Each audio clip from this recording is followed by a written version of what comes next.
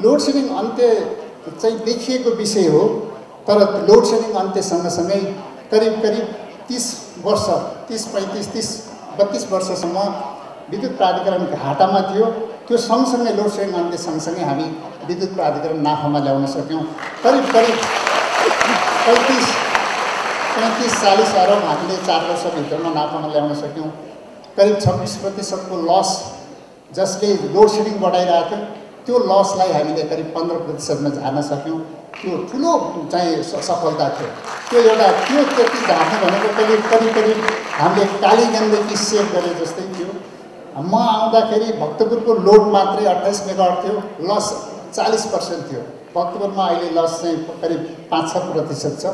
काठमाडौँभरिको लड loss हेर्ने भने करिब चार पाँच पर्सेन्ट छ।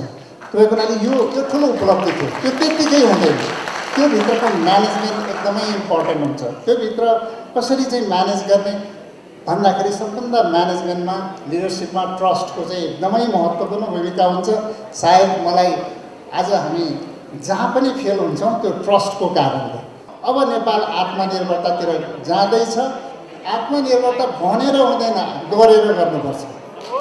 हरेकको हरेक व्यक्ति आत्मनिर्भर हुनुपर्छ।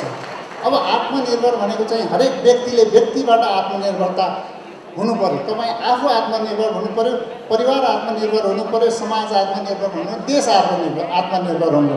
हामी आत्मनिर्भर भन्छौँ तर काम चाहिँ आत्मनिर्भर होइन परनिर्भरताको काम गऱ्यो भने त्यो राम्रो हुँदैन।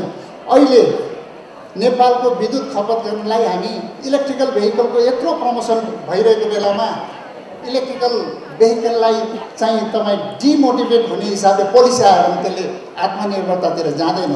विद्युत प्राधिकरणमा आएर मैले धेरै चमत्कारको विषय गरेको होइन।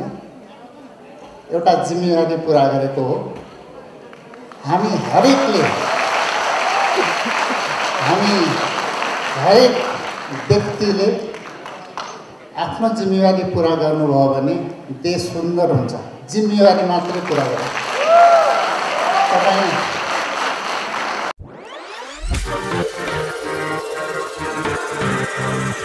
Thank.